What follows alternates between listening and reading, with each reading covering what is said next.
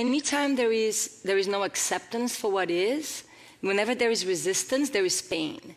Because, you know, we can't control, I always say, like, you know, in my prayers or when I'm talking to, you know, my guardian angel, however you want to call your higher self, I always ask, you know, show me the way, guide me, and whatever happens, help me be for my highest and best. And you, I have to trust that. And sometimes the highest and best might be not the thing that my mind has decided that that's the way it needs to go.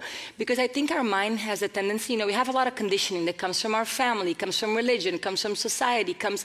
So we live in this box and it has to look a certain way because we've been taught that way. Like if he's, if he's out of this box, doesn't feel safe. He doesn't.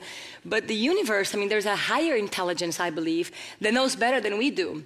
And I think if we can trust that higher intelligence and, and, and saying like things are happening for me, not to me, you know, things are happening for my growth, for my, you know, evolution. From, I think there, when there is an acceptance, there is no pain because you trust. There is trust.